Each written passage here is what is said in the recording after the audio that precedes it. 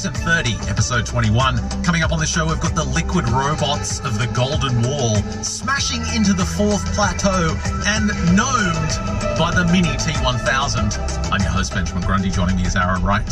What's a mini T? Um, that's from Terminator, isn't Yeah. It's like a tiny little adorable psychopathic Terminator that jumps on top of your car and tries to kill you. I'm not so sure that adorable and psychopathic gnome trying to kill you are things that really go together usually. No, he's, he's obviously terrifying, like he is trying to murder you and your family. But he's only a foot tall. Is it a psychedelic experience or is it an actual experience? No, this this comes from remember Ron Quinn. We covered his story. I can't remember if we did it on the free show or in Plus, but Oh, he the little people. no, he spoke about when he was young. He and his brother they went uh, treasure hunting in Arizona.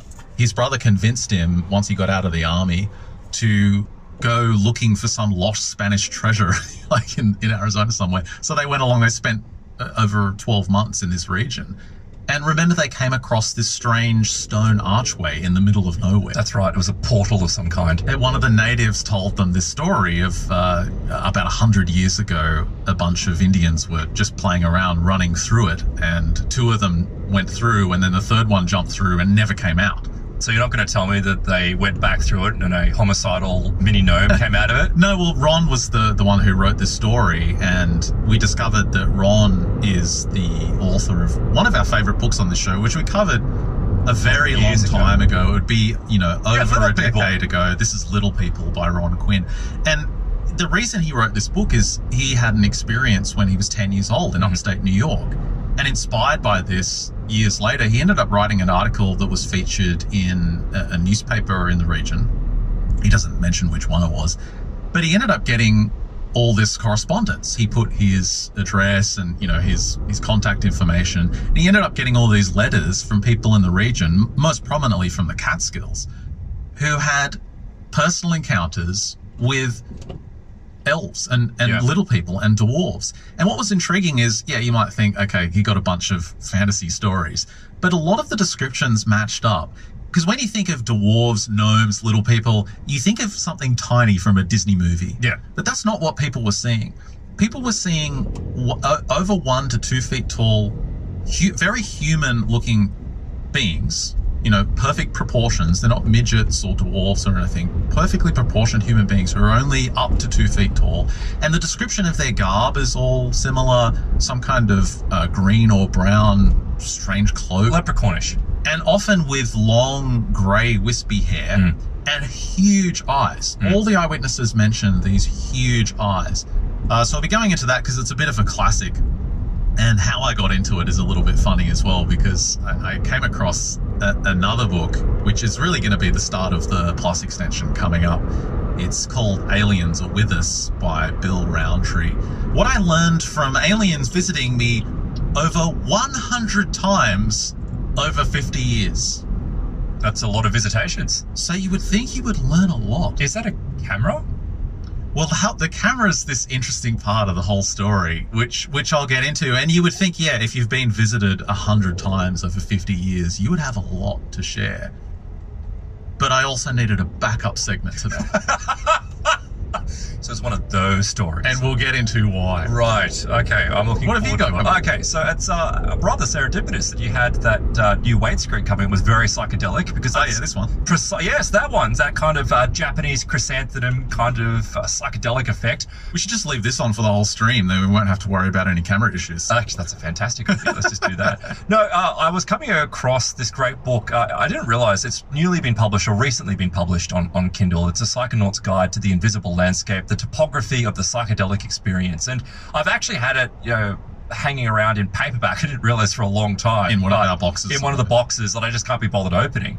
Uh, and I have looked at it, but I've never dived really that deep into it because I must admit, uh, the particular drug that he, he talks about, DXM, uh, which is, and I want to get this right, so it's uh, dextromethorphan, right? So Got this- any on you right now? no, well, if you've got cough syrup, potentially. Oh, okay.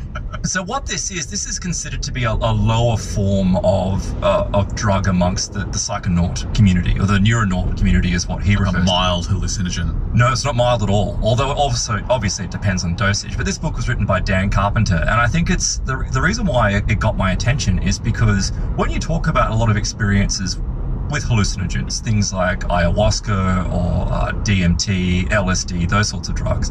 Uh, even though many people experience an inwards kind of journey, you know, people have described things of seeing, um, you know, snakes entering their body or them, you know, delving into, uh, you know, deep memories and solving traumas and that kind of stuff a lot of the people describe experiences where they actually go to a space, like it's a real, it appears to be a real space, you know, realer than real is that old term which is used. Um, and obviously, they encounter things like strange little elf like entities. They come up a lot. The machine elves is something that people like Rick Strassman um, you know, and others have described. So, but a lot of the time, it really is going somewhere else. Whereas with DXM, this particular book focuses really on going into your mind, like literally into a space in your mind. It's the guide to the invisible landscape. So it's it's almost like a, a travel guide. Yeah. The topography of the psychedelic Yeah. experience, like mapping it out. Look, I think, and, and sometimes when we talk about these experiences, don't I think, look, we, we get criticized for talking about, you know, or glamorizing these sorts of drugs, these hallucinogenic drugs. Uh, I do not recommend that you take these experiences uh, or these drugs to have these experiences. Uh, I certainly uh, am not saying that you know there's there's nothing in this. There may be something in it, and we know even recently in the last ten years or so that they've been looking at it from a, you know a therapeutic kind of perspective that we can use these drugs to you know in a therapeutic setting to help people get through traumas. So there may be some application for it. You're doing it again, though. You're doing it. This is what you did in the last episode on Plus. You gave all your opinions on the No, stuff oh, you before you before you spoke about the stuff. No, you wait for me to give my opinions on this because this book, all I will say, keep this in mind, this book is a demonstration as to why you should never touch DXM. Stay the hell away Okay. from it. Avoid it. It's really bad. It has devastating consequences. But let's let's jump into it, right? So Dan Carpenter describes that you know the, the whole idea of uh, exploring your consciousness, you know, using these substances. Your consciousness wasn't even recognized as a credible scientific subject until at least the 1990s. Like it's been on the periphery and it's been around there, but this real deep dive into what is consciousness, what is the seat of consciousness, wasn't readily accepted in you know into the scientific community until that recently. And he says, look, you know, I've had this uncle who was a physicist, and you know, where we see that the world started crossing over into you know quantum physics, and we started to realize that consciousness may be affecting our physical reality, obviously at the quantum level. But he had this, he thought he was going to catch his uncle out because his uncle's this physicist with a leading university, and he thinks, oh, I'm going to ask him about, you know, why is light, you know, travels as a particle or a Yeah, wave? okay. You know, I'm going to, I'm going to get him that. I'm going to say, is it, you know, consciousness? It catch him out? Yeah, I mean, obviously, I'm paraphrasing exactly what I said, what what he said. It's like the observer is changing the Well, that's quantum what he's trying state. to say. Yeah, he was hoping he was hoping that his uncle's response would be something like, "Oh, it's like it's another dimension, you know, sometimes leaking into our reality, and this is why sometimes it's this and that." Why is physics so lame? Oh, it's always late. But anyway, he goes and asks him, right? And his uncle's response was just like, uh, "I don't know. I'm." It's just I, all I do is observe, and that's the realm of physics. And so, until I know exactly what's happening scientifically, I have no idea. God, that's a boring Oh, he answer. was, it was exactly like he was like, and he was let down. Like you know, Dan was clearly let down. He's like, well, you know, I'm not going to get the answer here. So he went and got 20 bottles of cough syrup and was like, oh, This, this is the thing, right? So amongst the, the the psychonaut community, it's called robo tripping, right? Because DXM is in Robitussin, the cough suppressant. And so what? And it's normally kind of suggested that it's just a bunch of teenagers that go and buy it and they drink a whole heap of it and they have, you know, they see kind of colours and you know have slightly different experiences. I think, in fact, um, South Park did an episode on it. Oh, really? Like years and years and years ago. And they, they tried to take it because they thought that if they take this cough syrup and have these experiences, they get all these ideas. And so they wrote them all down and that and when they came out of it, they were like, oh, and that's exactly what happens Right. with this drug. It's also known as robotripping because apparently the, the substance itself and the other things that are in cough syrup, and this is why Again, don't ever take this. Don't go and drink a whole bunch of cough syrup because it might have paracetamol in it. It might have other drugs in it that can kill your liver, you know, cause a whole heap of other problems. That's why it's really dangerous. Uh, but that's where you get these plateaus, right? So what it is for most people, if you just go and take a little bit extra cough syrup, is in really low doses, it has no effect whatsoever. But if you, you know, take a little bit extra, you know, drink half a bottle, something like that, you might hit the first plane, and the or the first plateau. How many plateaus is there? There's four. Okay. There's four plateaus. So the first plateau was just this simple kind of, um, you, you might feel a little bit giddy. You might see colors around things. Uh, you might have, you know, that kind of that halo effect in your hands when you look, all that kind of thing. Very low level stuff. then you progressively move up. But you have to take larger and larger quantities of this stuff to get to those levels. Uh, the other thing is, it fits into a class of drugs that's uh, a, a dissociative. It's kind of like ketamine, like it sits in that that kind of realm of drugs. And so what happens is is that ketamine uh, is a rather sh- a relatively short-acting drug in comparison. DXM, because of the way it's absorbed by the stomach and is you know processed, it takes much longer for the effects to to wear off. So you can go into these experiences for a very long time. So the more you take as well, the longer you're in these realms. Really? And we know from stories about DMT, DMT being a very sh- relatively short acting experience. Like if people smoke DMT, for example, uh, normally they're only in the space for about 20 minutes, but they commonly encounter entities, elves, witches, you know, strange sorts of creatures. Um, they're guided into spaces. I was looking at some of those reports. today. Reptilians. reptilians. Uh, remember the spider screwer? Remember how there was that person Oh, yeah. who claimed that they they Yes. went basically into this realm, and when they went into the realm, this spider, this neon glowing spider came along and started sticking like a proboscis into them. It was a spider them. woman It was a spider woman. That's right, and then with screwed them. very was- large proboscises. Yes, and they loved it though. I'm like, no, this is not good. These these are not good spaces. No, come on, getting screwed by a large interdimensional spider. She had two massive bolt-ons. So if you just if you didn't look at the legs, you can kind I of get love away how with you it. try to rationalize. Like, at what point am I aroused compared to Look. where do I throw up? It's like you're in the DMT realm. You know you're going to be trapped there for what is it, seven minutes? It's like You may no one's well. around to see it. When in Rome. it's like Well, no, because you don't know what they're taking from you. There's other experiences which, uh, I mean, to me, we do. It's called semen. for me, That's what they're taking. One guy was sprayed with this interdimensional, uh, like clown entity ectosemen. I'm not kidding you. This is DMT. So this is not a good thing. yet. And he Again, claimed- you're giving the punchline to the story without Well, no, like he was, he was. Well, that's the whole story. That was the whole. Very short.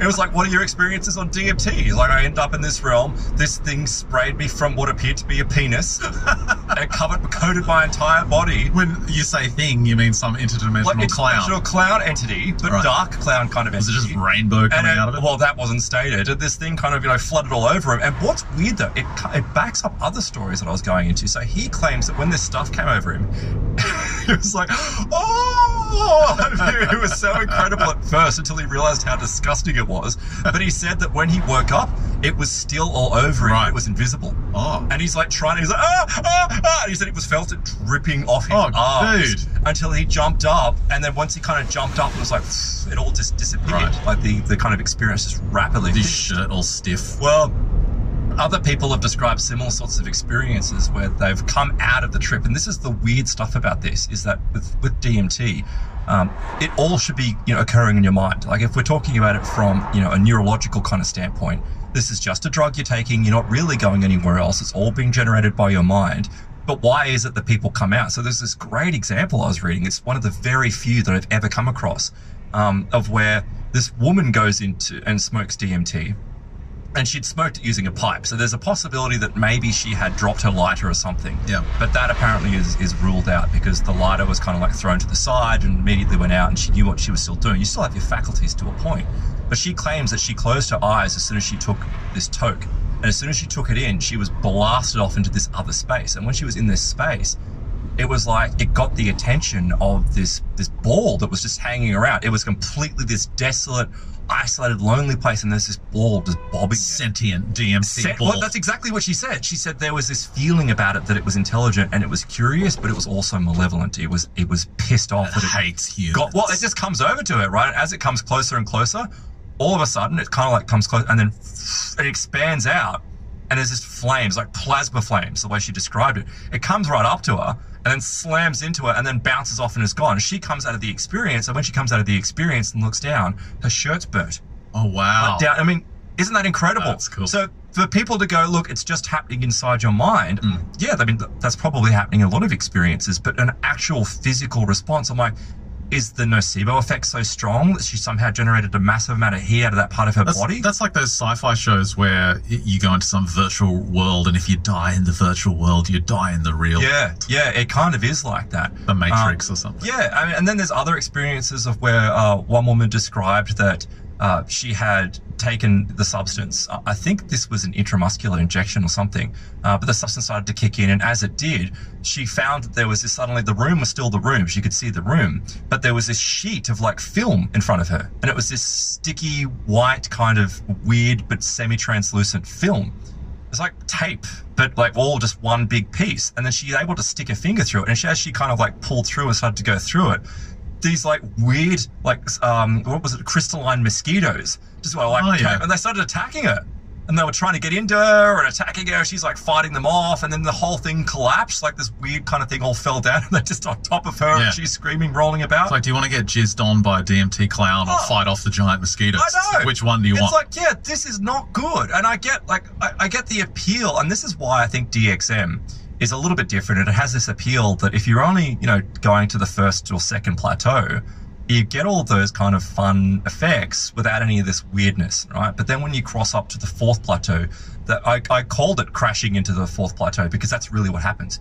You smash into it at this incredible speed, and it just it takes your brain to places that you could never possibly imagine. Well, it's interesting describing that giant fiery plasma ball that burnt that woman. It, it reminds us of what people claim they've encountered as guardians of the threshold that seem to be stopping people from going into the next layer, the next dimension, whatever is beyond. You know, we've had those stories of what's the the is it not Zozo, but the one with multiple eyes and multiple Yeah, I can't remember the name of it, but yeah, it's like it's almost like a like a, a, a Vishnu kind of entity or a, a Vedic kind of entity that's there. Yeah, and this is actually something similar that comes up with DXM. Um, so DXM, as Dan points out, it is it is slightly different, and this entire book really is an exploration uh, initially of within his own mind. Like the on the government DXM website right now. Oh, D- great. DEA.gov. Mhm. I won't give the full like, URL, but it's the first thing that comes up when you search for DXM. It, it sends you to the DEA website. Yeah, and robo tripping and the dangers, and really it is. It's it's not just the dangers Counted as guardians of the threshold that seem to be stopping people from going into the next layer, the next dimension, whatever is beyond. You know, we've had those stories of what's the the is it not Zozo, but the one with multiple eyes and multiple Yeah, I can't remember the name of it, but yeah, it's like it's almost like a like a, a, a Vishnu kind of entity or a, a Vedic kind of entity that's there. Yeah, and this is actually something similar that comes up with DXM. Um, so DXM, as Dan points out, it is it is slightly different, and this entire book really is an exploration uh, initially of within his own mind. The on the government DXM website right now. Oh, D- great. DEA.gov. Mhm. I won't give the full like, URL, but it's the first thing that comes up when you search for DXM. It, it sends you to the DEA website. Yeah, and robo tripping and the dangers, and really it is. It's it's not just the dangers of this particular drug. It's also uh, all the other drugs that are inside. You know, uh, cough syrups that actually can cause problems. But um, he says, look, you know, when I was younger, when I was 18 years old, I took my first hit of LSD, and I remember returning home after the, the peak of the trip and having this deep realization that my entire experience growing up was founded on absolutely nothing. It's like from taking the the um, LSD, he experiences this kind of existential crisis. And it's funny how people seemingly end up being set on this path to go through these journeys because right after this happens, he just happens to be um, going through a thrift, you know, a, a bin at a thrift store, and he finds Robert Monroe's journeys out of the body, like the incredible works of Robert Monroe describing how people live their bodies. And he says it was odd that I came across this when I did because I was right in the middle of sud- suddenly having tremendous luck with lucid dreams at the time. So he's like having these lucid dreams, and he finds this book, which just further propels it, which plays a role later on when he starts taking uh, DXM. But he points out early on in this book that you know, look, I've had some very dangerous and scary situations when I've been dealing with this drug inside my mind or inside this space. Um, but he says the key to this is learning how to navigate.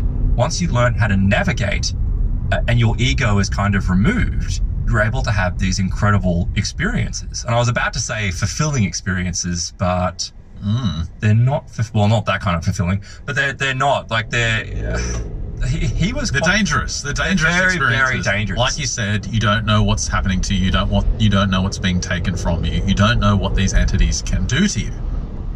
And even if it's not your body in another dimension, it's every other part of you. Exactly. It's the more important parts It's of you. well, potentially it's like your soul. Yeah. like it's described as being like he talks about your ego, and then when your ego kind of dissolves, you have the anti-ego, and and that's one thing I will say about this book where it kind of is.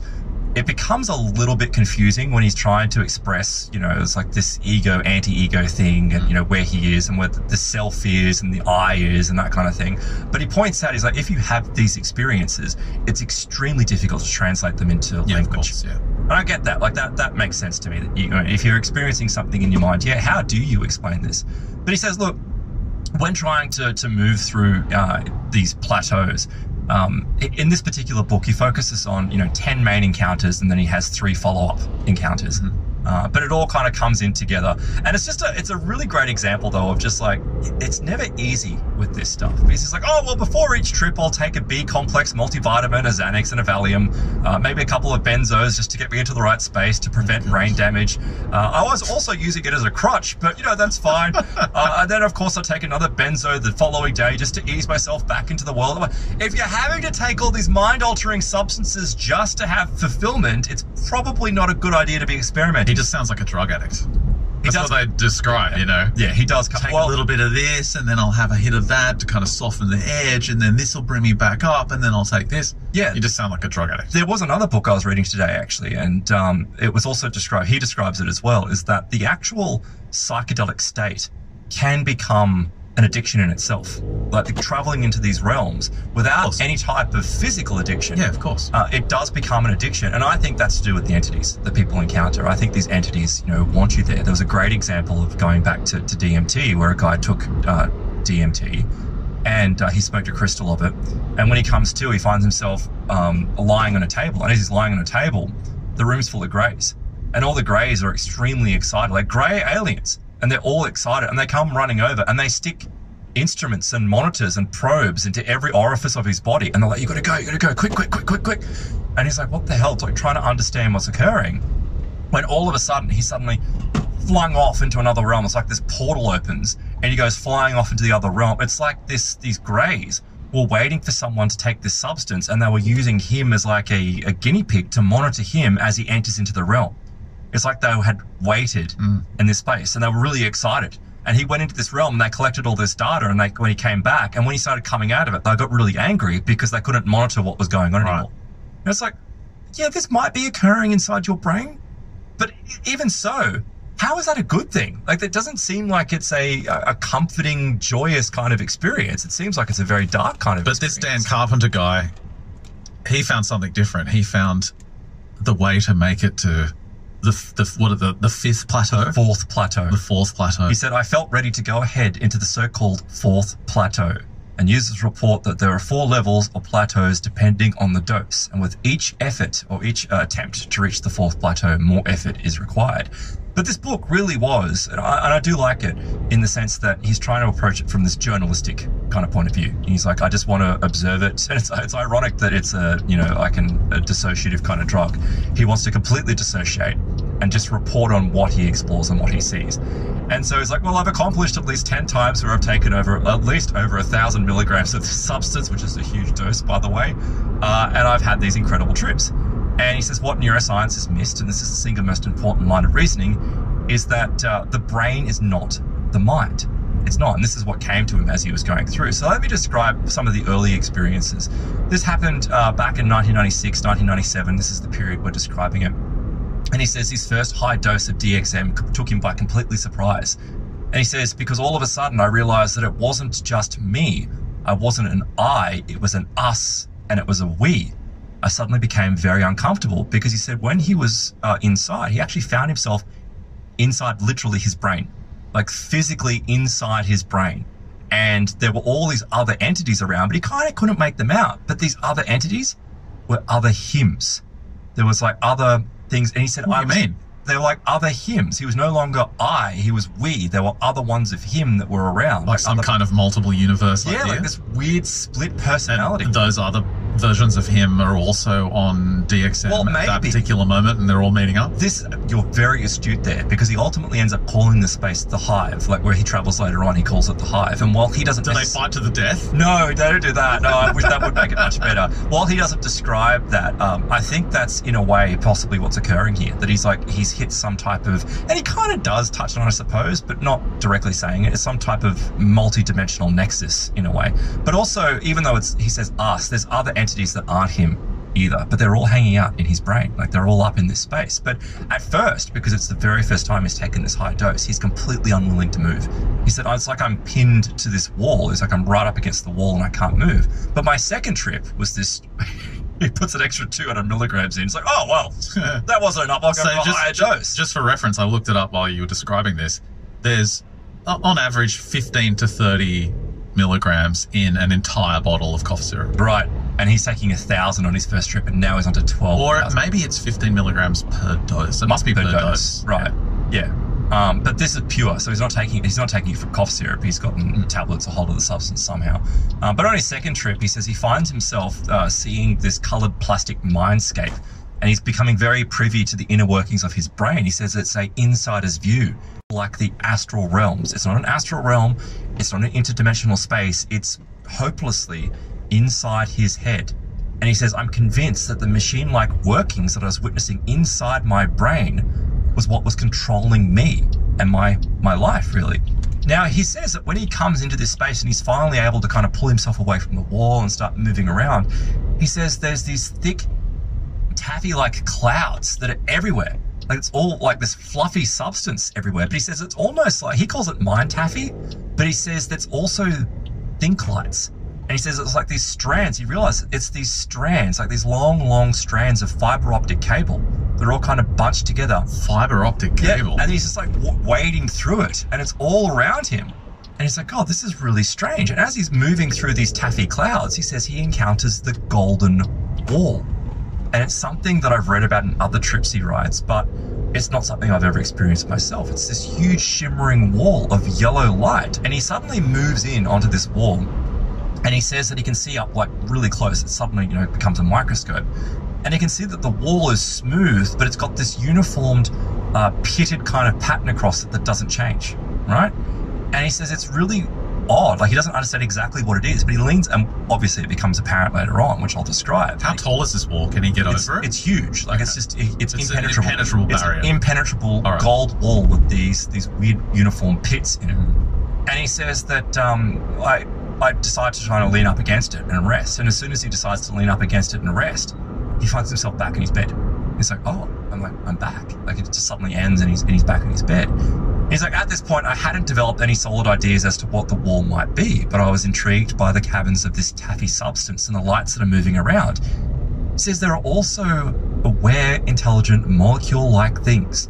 They're perfectly defined, moving in orbits and performing maneuvers and tasks. They're moving through these taffy like clouds. What, like little balls of configurations floating around? He says it's almost like electrons. Right. It's like these electrons that are spinning around, and he says he can see them. He sees them every trip, and they're doing something. They're performing tasks in these tight choreographed maneuvers. And he says they're following their duties in this very animated but no nonsense way. They're brightly colored. Sometimes they're striped blue and black or yellow and red. Some are circular shaped, some are barrel shaped, but they've got tendrils coming off them of green plasma. And they move through like uh, schools of fish, like glowing neon orb schools of fish, just plucking at things and pressing things and performing these, what he believes is some type of duty. so they're not floating around aimlessly. They've actually They're- got purpose. Absolutely got a purpose, right? And in light of what he describes with the taffy later on, you start to go, oh, maybe they're, you know, maybe they're neurons or something, or maybe like that's how Is they're- he actually in his own brain? He's in his. oh, Well, that's what he believes. He's in his own brain. and this golden wall, is that to keep him in or to keep something out? Um, no, it's he, he does have other like barriers until he takes higher substances that prevent him from moving, you know, into the other realms, right? But because I think like not that it's directly said, but we're still on the second or third plateau here. It's like he leaves his mind at one point, and he leaves, and that's where he ends up on the fourth plateau, which is the the really crazy space. Um, but I think at the moment this wall is not what you expect it to be. Although for some of you, you know, listening or watching, you might actually already know what this wall is. But regardless, going you know through this this taffy and seeing this wall, and you know this is like his second or third experience, and he's watching these green plasma tendrils. He says, I realize I'm interacting with an invisible person. There's there's someone there and he's speaking with me. And he's merrily explaining about these green electric tornado-like vortices that are whirling in the distance. And it says to him, if you enter one of those, your ego will be put back together. But you have to get off here now. Wait, who's telling him this? It's like him, but he doesn't. He says it's just an invisible entity. But I get the impression that it's another version of him inside his brain. It's like because he's, he The- talks the about the ego and the anti-ego. It's like this kind of these spaces, the we. Um, but he says deep within the taffy chambers, my companion had returned. And he shows me this flesh-colored, churning colored wheel. Sorry, flesh-colored wheel, but it's also got lights on it. Right? Okay. It's- and it's he says it's, like a giant it's- flesh-colored wheel of fortune. yeah, it's like that. But he says it's like it's got like fleshy pimples all over it, and it's going crazy. gross. It's it's gross and it's going crazy. little bits of hair And coming he says the, it's like- cubes on the side. No, there's nothing like there's nothing hair, but it's like it's going it's like spinning off its axis and it's clearly chaotic. There's clearly problems with it. And he says it's talking like its its voices are coming out of it. And all these voices coming. It's like one point it's Porky Pig, the next second it's Alan Alda, and he's like I don't know what the hell's going on. You know, it's all these weird voices, and he's like, I don't understand. Ronald Reagan starts talking, and he's like, I'm just, I'm frightened. Like, I'm really frightened at this point. And he realizes, oh, it, like, it clicks, like, it just suddenly snaps with him. And he's like, I know what this is. This is the regulator of my emotions, right? This is what serves up his emotions. And you know that it's whole all out of whack. because he's not controlling it. Right. Because he's left, because he's taken this substance. He's no longer in control. So he said, This thing, it's gotten loose. It's now on its own. It's crying, it's laughing, it's goofy, it's serious, but it's driverless. And he said, For me, this was only the beginning of immensely unsettling discoveries, of which he's about to encounter. So uh, he takes more trips. And ultimately, he uh, interacts with these ego vortices, those spirals of light. And he says it very much does look like a, uh, a tornado on its side, but with this green, glowing kind of light to it. And he says, I pass into it, and he goes into some kind of area. And it's really fascinating because, as I was you know, pointing out earlier there, he said the key to all of this is learning how to navigate. I haven't included it in my notes here, but with his navigation, and this becomes important as you seem to cross from this third to fourth plateau kind of area, is that what you have to do is you will look around your space. And when you look around your space, you'll see these tiny little specks of light, like little tiny specks of light, but they're silvery. If you focus in on that, all of a sudden, it will form like a crevice, and then you can go and climb through that crevice. And when you climb through that crevice, you go into a next the next space or the next realm, which might be another part of his brain or his, you know, whatever's inside there. But he says when he passes through one of these vortices, um, there's this entity inside it. And he says he's not sure it's an entity at first, but it, he says this thing standing before him has the appearance of converging lines in a face, like a splayed out crab or radiating cables. It's got this What? like inlaid design. He says it's alive, but it's made of liquid metal. It's this kind of organic metallic blend that's like congealing and moving before him. And he says, I finally made contact with this thing. And as soon as he does, he's like, this like thing comes out of it, ejects straight into it. what do you mean a thing Like this comes thing out comes of out this long silver thing, like just comes What? injects into him, and he says it probed me very nonchalantly. I ended up standing there frozen, resting pinned somewhere, not knowing what I was doing, and he realized he was up against the golden wall. He had nowhere to go, Pinned so- him up against the golden wall and probosc, probosced, Probosced him. and he just let it go. He's like, "Well, you know, I was here, so I had nowhere to go, so I just went, oh, okay, I'll go with it." He said I called them liquid robots because more for the apparent indifference to my feelings they uh, exuded than anything metallic about them. But Did they he were pick alive. up on the purpose of this procedure? Not yet, right? He said they were alive, they were organic, but they were some- somehow technology as well. I later renamed them the crab faced others, right? Now he says this, this is a state where it's almost like he kind of implies that this thing is performing the duty of destroying his ego. It's like that, that ego death that we hear of. Um, but it wasn't quite. But then he's like, and he doesn't describe, and this is what's a little bit frustrating about the book, is that he has these little like um, instances of where the way that he's done all this is he's kept a journal next to his bed or a notepad, and every time he's come out of the experience, he's immediately written everything down, and he includes some of those retyped notes in there. But then it's like. He's like, oh, you know, I've only ever found mention of, a, of furniture by one other person, but all of a sudden there's this chair there. I'm like, like, what? You're getting furniture? And he says, I was plunging into the taffy like clouds and I came to hover over a crevasse.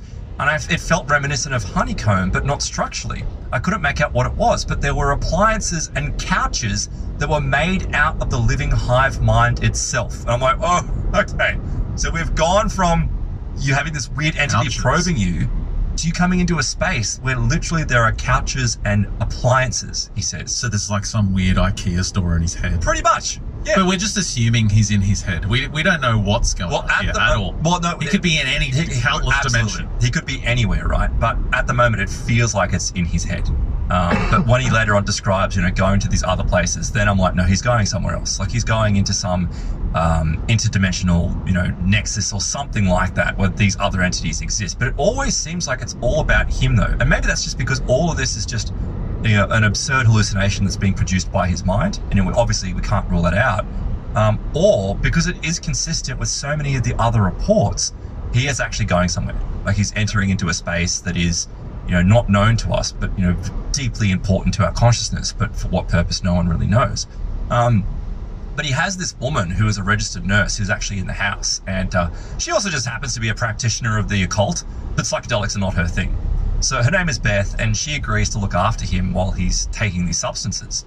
And in one of the very first instances, uh, he's like, I went too far. And he tried to kind of come out of it and he started feeling really unsettled. He felt like there was something very wrong here. And he says, My internal clock went offline. And he basically got trapped in there that every time he came out of the experience, it would immediately revert and he would be back in a new realm. What? And it kept on going over. And each time he came out, he's like, I'm Dan Carpenter. I'm, um, Carpenter, that's right. And he kept on doing it. And so he, he goes and kind of drags himself down, like he pulls himself down the hallway and screams out to Beth, you know, I need help.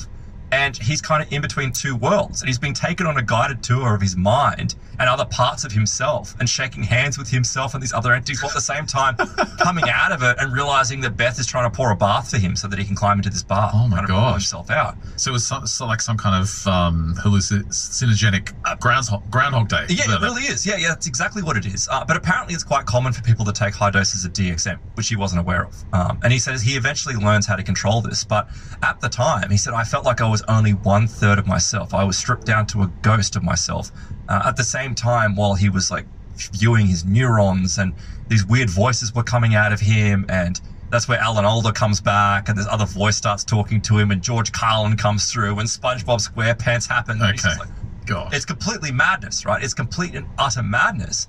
But he says while this is all going on and he's fraternizing with himself somewhere, he realizes that he had drifted into some other area of the hive, an area that he wanted to explore on a subsequent trip. And this is the thing: you had this terrifying experience, and yet he wants to go back. Like he he wants to go back because I tried an experiment that got me into trouble. It was this mid connection with one of the beings, and this is hilarious, right?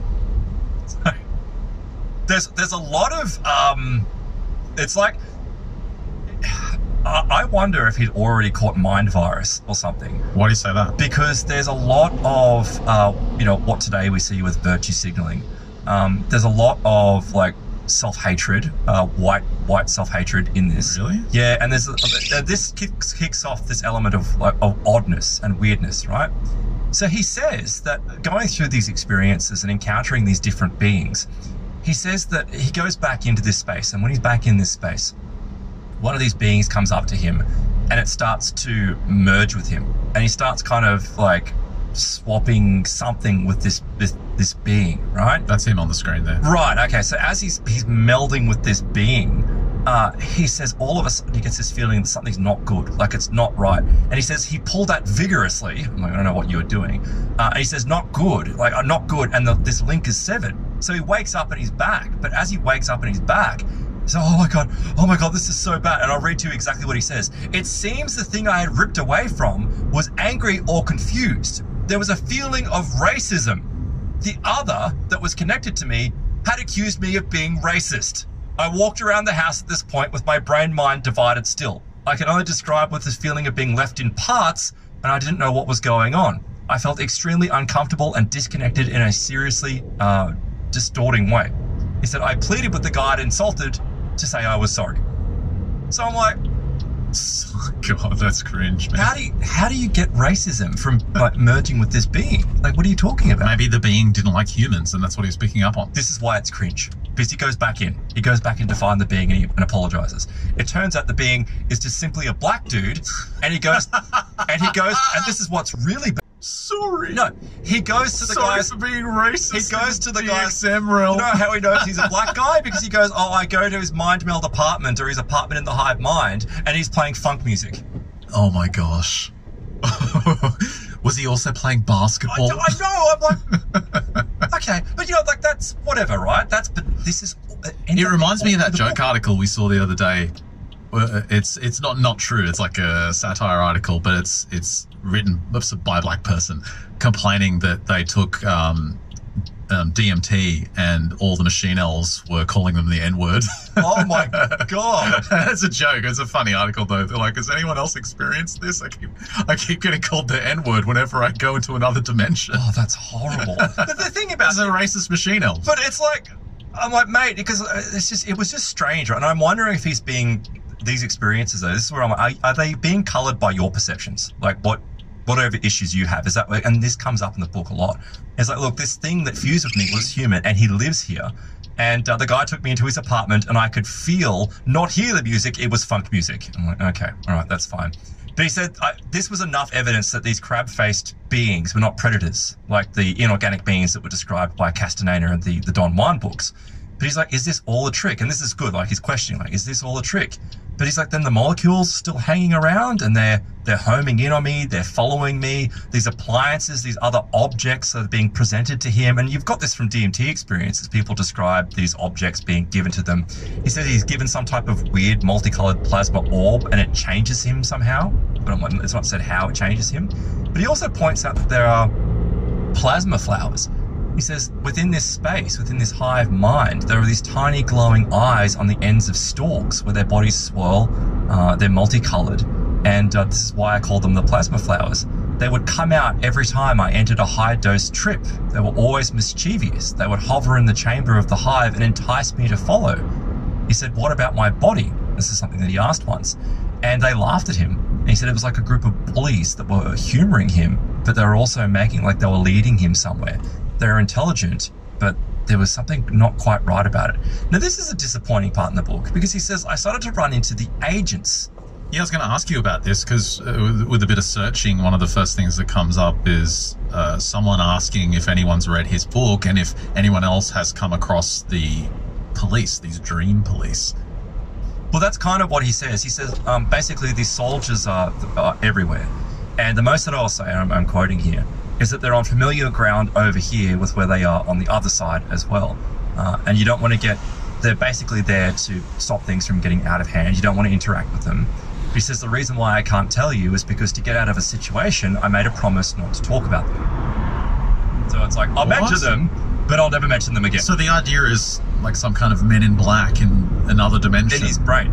Yeah, in another dimension that's yeah, agents, he calls them. You're right, dream police. Yeah. And this is why people have been asking about this because it's such an intriguing idea. And this is also something that we understand about these other realms is that they They're have police somehow. hierarchies. Yeah. And it's so it's funny that you mentioned like his kind of woke ideology. um, Oh, it gets worse. leeching in, but y- you go into these other dimensions and all that goes away because there is a hierarchy in other dimensions. There are walls, there are borders, there are more powerful beings. It's Well, not also, all there's equal. no skin color though, because it's not about it's not about you know these physical properties that we have. It's about it's like ultimately about your character and where you sit in this spiritual kind of realm. Right, but what I'm saying is there's some kind of order. Yeah, exactly. Right.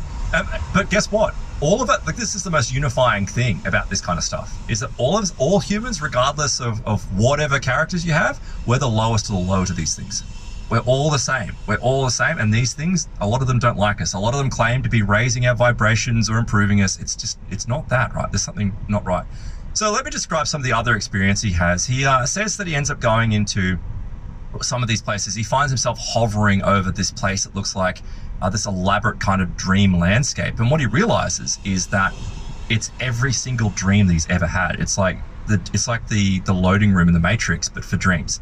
And it's all there in this particular space. It's like this living hologram. And it's not a memory, it's a place. It's still happening, it's alive, and it's all in his head all the time. And later on, he finds out that this is like a very low level, like this is a second plateau thing. So a lot of people come into this space, it's actually like the dream space that you go into. So when you dream, you enter into this kind of weird hologram, and all these things happen while you're dreaming. But this drug just allows you to view it. It just allows you to access it a different way. Um, and he says, "Look, I saw the same kind of thing." Uh, he describes Daniel Pinchbeck, who uh, in his book "Opening" or "Breaking Open the Head," that he could see his thoughts arise and then vap- evaporate as particles of light while he was in an ayahuasca trance. He says it's kind of the same thing that's going on here. And that's what the Theosophists describe. Right? Yeah. Annie Besant and Leadbeater describe seeing that. Well, thoughts sa- emerging from people and then dissipating depending on the energy put into the thought. That's right. He says he sees these endless bits of floating living particles moving around that might be shards of these thoughts, perhaps, or memories, or those sorts of things. He sees uh, these sophisticated leeches running along wires and streams of cable made. Leeches? Yeah, inside his head. Uh, but they're all strangely aware and they're looking back at me. But he says, I began to notice this shiny area that would appear on the wall of the hive. Something very important was about to be revealed to me.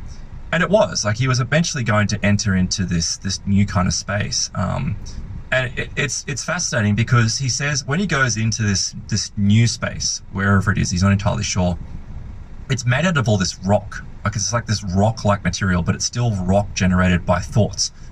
And inside the rock, though, he says there's these two British guys, and these two British guys like what is this, a digging, Python sketch? yeah, are digging through the rock. Like they're stuck in the rock and they're kind of digging through the rock. And as they're digging through the rock, How does he uh, know they're British? He talks to them? yeah, like he gets all these impressions, right? And he starts getting these, and he realizes he's like, oh, it's my grandfather or one of my grandfather, both of my gra- like What? Yeah, and they're digging through, and it's all coming to him, and he's just like, but they're stuck. He's like, they're kind of stuck in this this rock, and he starts to speculate as to what they're stuck in. It's like, is he This ancestral karma or something? well, that's the thing, right? He's suggesting that this is some type of karmic wheel or something that they're, they're stuck in, but it goes even further. He's just like, this is the result of um, essentially what their beliefs and their, like, the, uh, I guess, how wonderful British society was, and now they're stuck in it. And then later on, Oh, like, give and wait for it, let's do the next tick box. He's like, he describes another scene where he sees other people that are trapped and they were raised in a Christian household, so they're trapped by that. Oh. It's just like,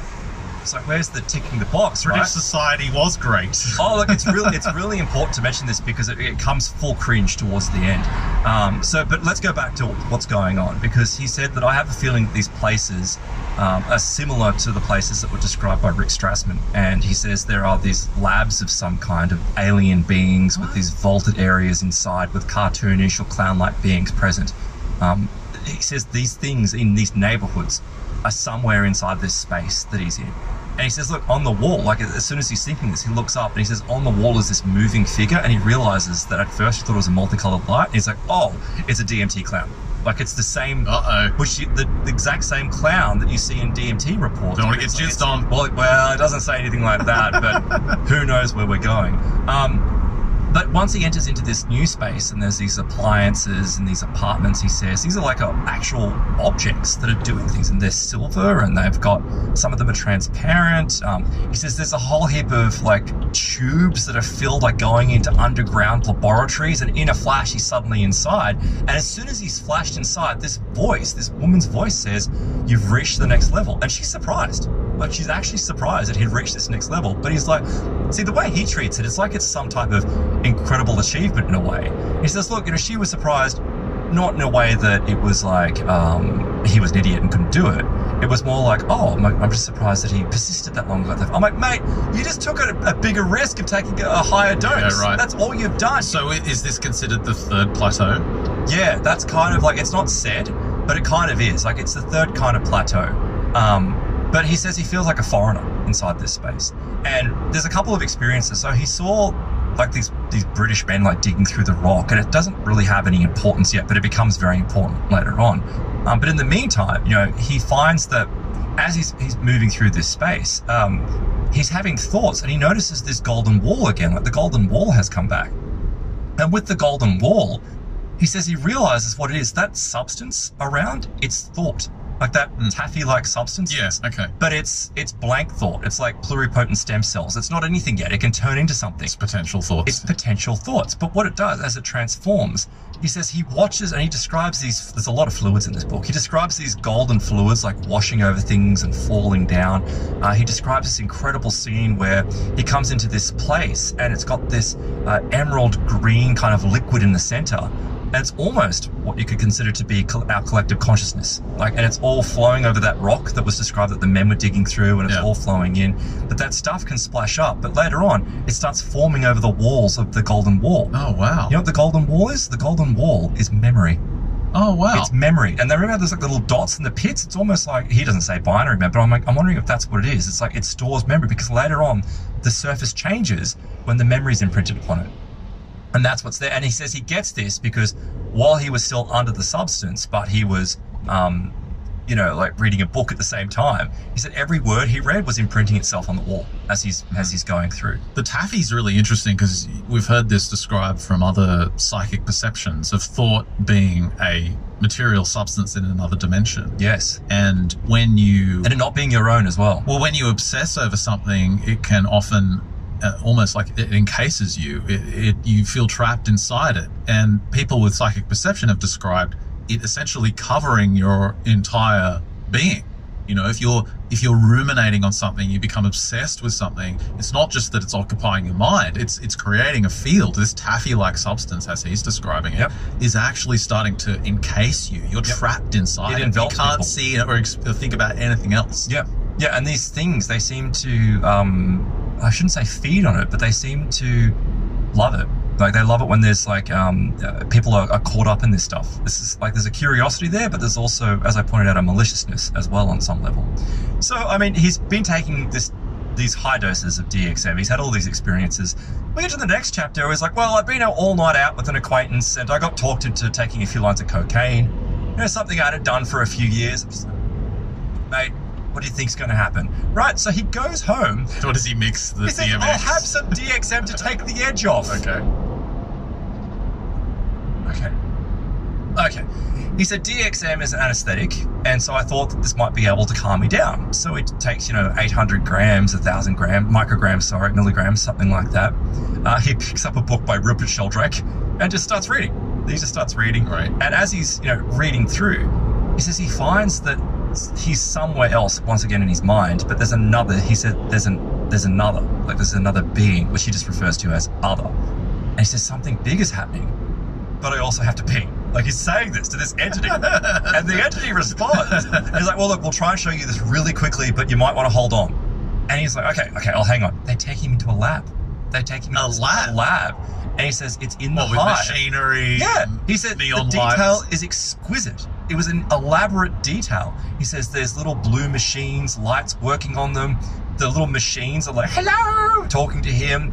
And then like, see the work we have to do. And he's just like saying there's What, the machines the machines, like the machines. And there's like rivers of molten glass that are clear as air. He says, this is living water. And the response is, yes, well, it- it's something like that. And he says he floats past workers that are working on some device that's made of silver fire. Um, but he's like, got no time to look. The other entity's like, no, no, no, you don't have anything like that. You, you can't do that. You have to come. Come, Marty, we have to go. So he, um, I that pulls him. He's like, do you see that down there? And he looks down and he says, there's like clay. It's like wood and, and wood and clay, right? But it's babies, he thought. He couldn't quite tell. But he said, Are they the dead? And he's like, Well, yeah, kind of technically. This is like where you see people form, right? They're forming from clay. I'm like, how many other There it is. experiences have we heard before of people that have had, you know, these near death experiences saying they see this clay? Well, and it's this in the dirt? Bible. Yeah, right. So he's Man seeing made this. from clay. So he's he's watching this, um, and he says they're they're being they're humans, they're unconscious, and they're being readied for their entry into this world, essentially. Um, and he says they're they're trying to put this information into these things and getting them all ready. And apparently there's like some valve that's clogged in him, so they're trying to work out communication. And he's like, uh, this other voice says, "Oh, would you like to speak to someone who's dead?" And he says, "Oh yeah, sure." So he's taken cocaine. now he's taking DXM to take the edge off, and now he's speaking to the dead. Is he like Mind Führer? No, no, no, no, not quite. Uh, because, well, I shouldn't say that's terrible, actually. So during this experience, as he was writing this book, uh, that woman Beth, who was the nurse who was assisting him, uh, and you know, getting looking after him while he was taking these drugs and, and recording his experiences, she died.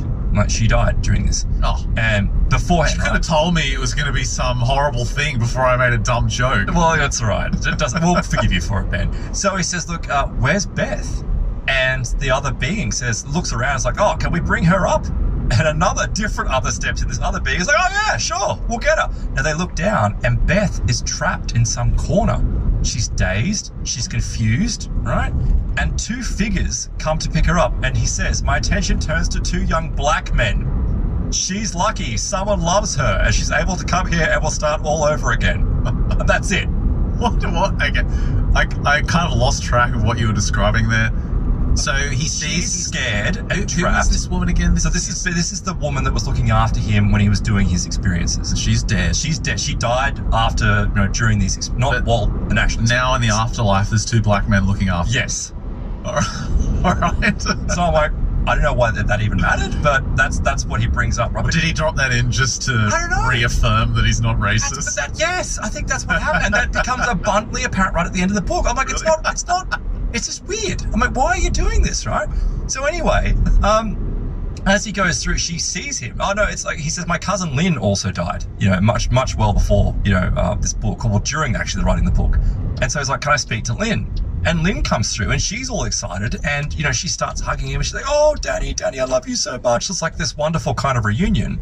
And for him, it's like confirmation, but nothing really happens, right? He just, it's all in his mind or this space that he's having these experiences. But he says, then my turn comes and he sees these people that are being processed for whether or not they're to come back into this reality. happening to Dan or To him. This, this is He happening says, to him. my turn comes and my being is cored. They blob me, which is where they hollow me out like a donut without a middle. Once the, I'm like, what, what's going on? He says, I understand it's an honor because they're removing something from him, like these ideas, I suppose, or thoughts. He says he's then taken to these endless blue apartments and laboratories full of organic plasma machines. And uh, he's shown these, he's given a tour through them. And as he's given a tour through all this stuff, it's like he's been fixed. And he's, and he's allowed to leave. yeah, they blobbed him, obviously. And the last thing that the beings say to him as he passes through this gate is, Don't do cocaine anymore. Goodbye. and he says, Thank you. And he wakes up in his bed. Freshly blobbed. Freshly and, blobbed. And caught out. I'm just like, This is not sounding good. He said, I went to the porch and threw the coke into the wooded lot next door. okay.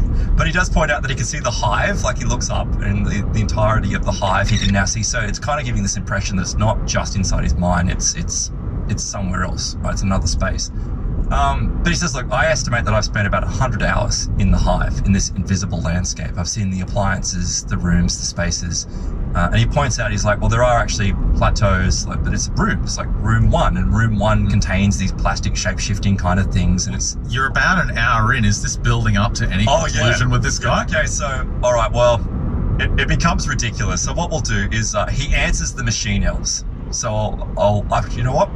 What do you mean he answers the machine? So you know, you know, you Terence got McKenna. time. I'm just Okay. saying you're you're at All about right. 55 minutes. So Terence McKenna described mach- seeing machine elves. Yeah. Right, this is something that you know, um, and many people taking DMT have described. They see these, um, I guess you could call them like cybernetic organisms that are doing certain functions and moving around uh, in a very shortened kind of fashion. He claims that he sees these things as well, uh, and when he sees them, he'd actually drawn a picture while it was happening, and he. Pro- pardon me, he produces the picture and he says the picture looks like these entities with a series of plastic tubes linked together and it's coming out and it's kind of twisting and spiraling. And he says, he gives it to Beth, and this is before, this is the woman that he'd spoke while she was alive. Hmm. And immediately she's like, that, that looks like DNA, but at the molecular level. And he's like, oh, okay. And he goes and checks it out, and it turns out that it is. Like, it actually matches, like, the molecular structure of DNA. And he says it reminded me of a book that was written by anthropologist um, Jeremy Narby. It's called The Cosmic Serpent. In the Cos- Classic. yeah, in the Cosmic Great- Serpent, great. he describes how DNA works and how essentially, though, um, DNA forms machines, which are, are proteins. These are you know self-folding proteins. He's like, this is what the machine elves are, and he realizes what's inside his head. The machine elves are the products of DNA. It's like, or they are DNA. That's Right. precisely what they are. He says they wait for you. They offer these Fabergé eggs. And another book that I was actually going through today, where there was another experience, which I don't have the book in front of me, but I will link to it in the show notes. There was another guy who was describing these these Fab- Fabergé eggs as well, which is something many people having this experience have said. But these Fabergé eggs are actually like concoctions of emotions and uh, feelings and thoughts and everything else, and they give them to you And he says it's like a ribosome. It's like a transfer of, of messenger RNA. He says these things are molecular computers inside our bodies, and I can see it inside my mind. And he thinks that's what people are seeing when they have these machine elves experience. They're actually still going inside their space, like inside their own space, and they're seeing the actual workings of their body down at the submolecular. Yeah, it, level. it really shows the vastness of the, the endless microcosm Yep. inside the human body, and that was often the uh, spoken of in the Eastern religions. Is that the inside the human, the vastness of the human body is similar to a universe. It is Yes, a universe. Absolutely.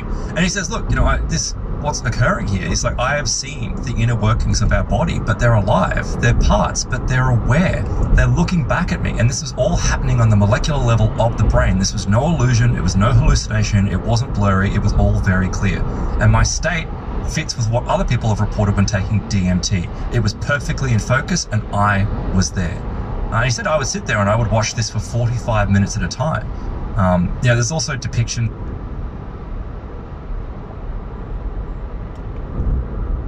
Hello. Hi Martin, it's just Grace from the pub. Is you okay? Hiya, yeah, I'm fine, thanks. You want to pick up? Good. We do love you, yes please. Okie dokie. It'll be in about an hour or so. That's fine. See you later. All right, see you in a bit. Ta-da. Cheers, thank you, bye. Nice pieces of each other and swap, which is also you know similar to what DNA would do, or you know that kind of thing. But then later on, he says, "Look, I, I encountered the sprite, and for him, this is why he thinks this is very much real." Is he says, "Look, I took four months, uh, four month break from tripping." And he says this is always a good idea because the brain can certainly use it. Uh, he points out that in one of the experiences, when one of these others had been there, that it actually had shown him brain damage. Had taking him up to a wall, up to this part of the hive, and was like, "This is all damaged. Like, look at it." And it was kind of, he's like, maybe it's from the DXM, like that's actually warning me about it. um, but he, so he takes this time off, but he says then, you know, after having all this time off, he takes like 1500 milligrams. Like just, Nice. And because he's had so long off it, he's, oh, sorry, a thousand, no, no, it's 1500 milligrams. Um, it's too much because his tolerance is gone. That's what they say in the DEA document that some people take up to 1500 milligrams. He takes it and he's like, oh, I don't have any benzodiazepines to take the edge off, so I take opiates as well. So he takes opiates and he says that was dumb because it causes him to become all like paralyzed up. He says, I come into a tunnel and this tunnel is like a foot from my face and there's some type of device that's just kind of poking through, plasma binoculars, if you will.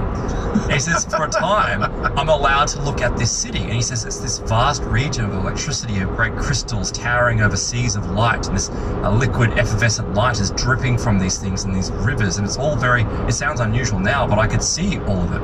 Um, but he says, all of a sudden, the room kind of dissolves and these board like panels all come around him. And then suddenly, like a, a hologram change and it becomes a forest. It becomes into this forest space. And in the forest space, he says a witch emerges from it. And she was laughing and zeroing in on me.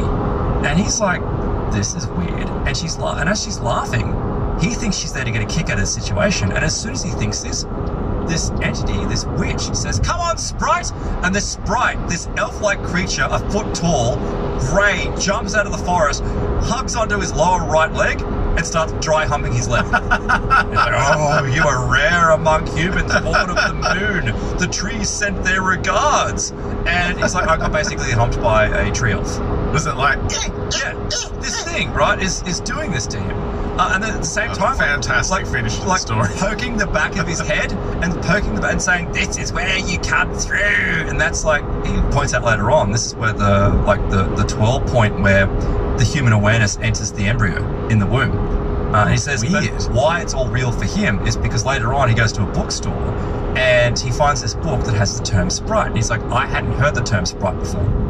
So for him, it was like this other synchronicity that kind of occurred, and you know, it all became you know quite incredible for him. But look, I won't put it into plus. I'll just tell you the end. Like I'll just I'll just give you the ending. Well, So- it reminds me of this book. Remember Very this? similar. From, what, six years ago or something? This is Great book. Vera Stanley Alder from The Mundane to the Magnificent. She was a theosophist, but she told this story. It's a really her autobiography where she was approached, she claimed, by some kind of uh, ascended master.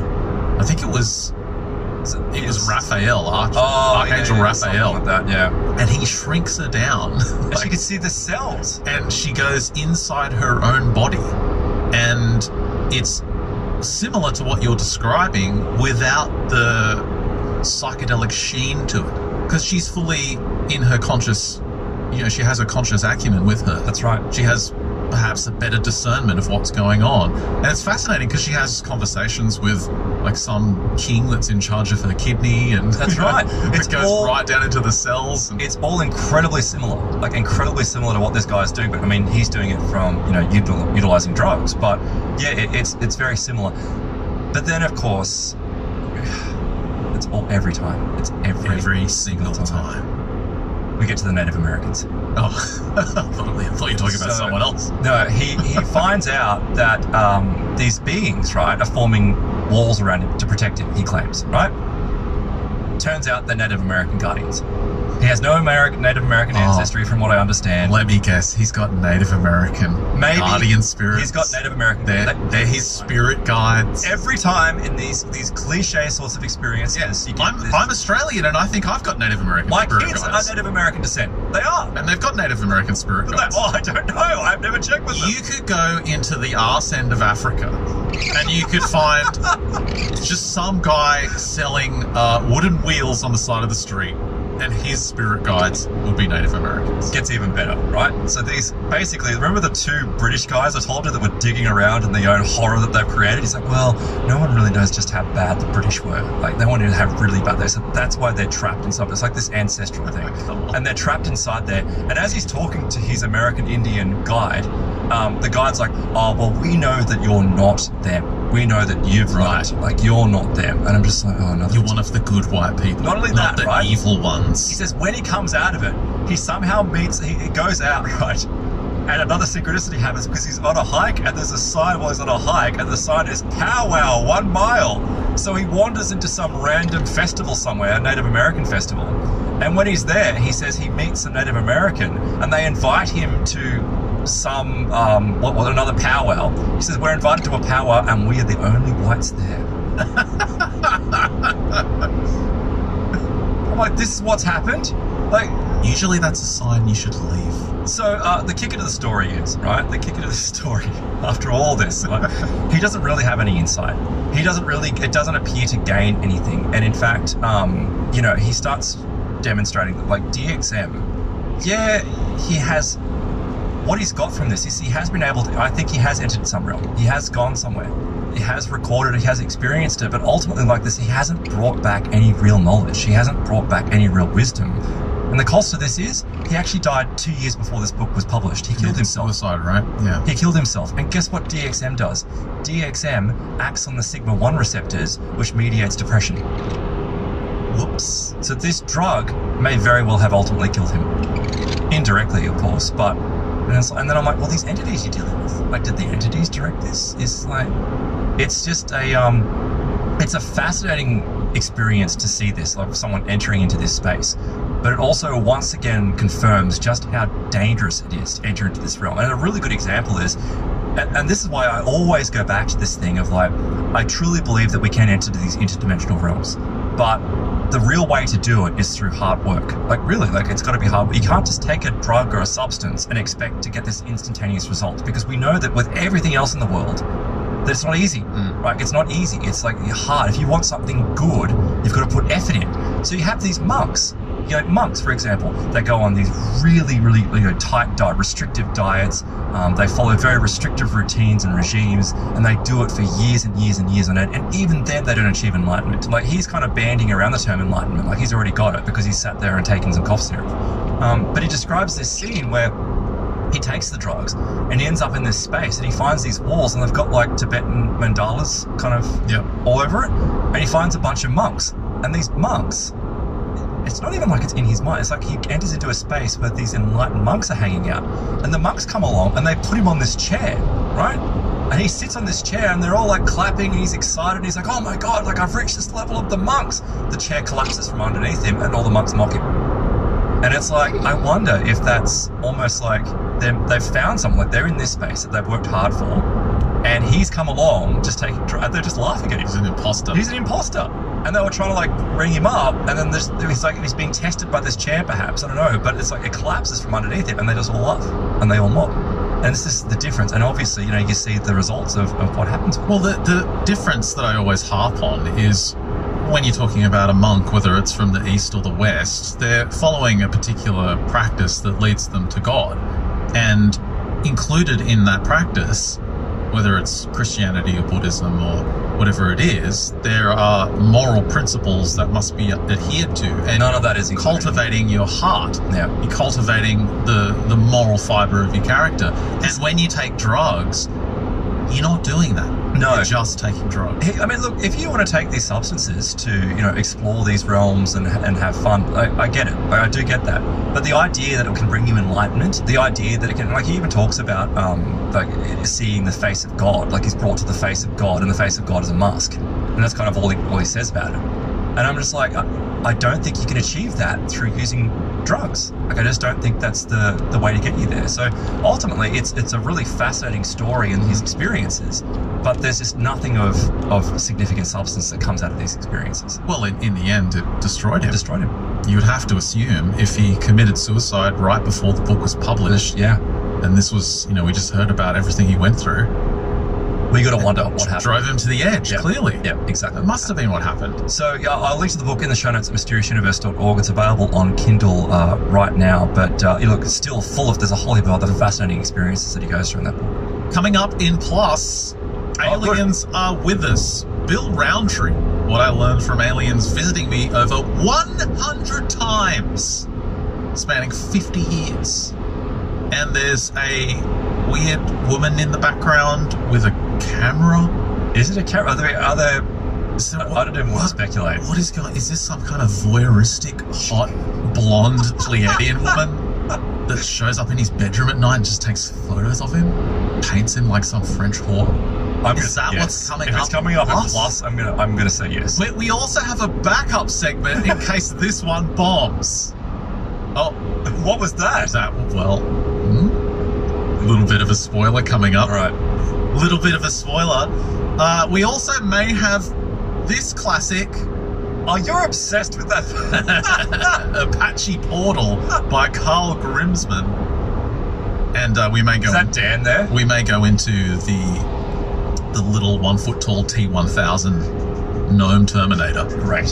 Heaps of stuff coming up in Plus. Head to mysteriousuniverse.org forward slash plus for all the details. Sign up today. Get access to the big extensions we do on these shows every single Friday.